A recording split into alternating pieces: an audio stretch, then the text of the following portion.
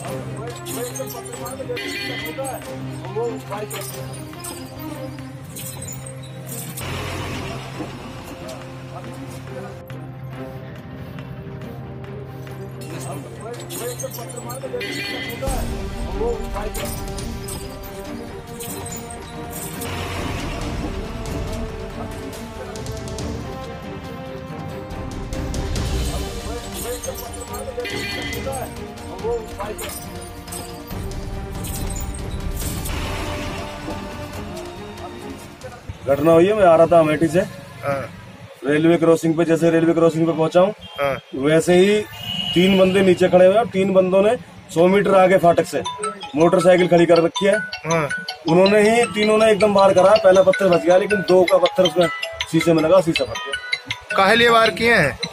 है जी? काहे लिए किए हैं? अब पता नहीं सर ये तो क्योंकि पता नहीं पहले भी हमारी एक गाड़ी का शीशा फोड़ा था इन्होंने। पहले भी फोड़ा हाँ, था? जिस तरीके से इन्होंने अब फोड़ा है उसी तरीके से पहले शीशा फोड़ा है इन्होंने। तो किस बात को लेकर है कुछ ये तो बात ये है पहले अभी पीछे भी एक महीना पहले इन्होंने कह रहे थे हर गाड़ी जो भी गाड़ी रिलैक्स की आएगी वो एक हज़ार रूपए देगी डेली के। अच्छा।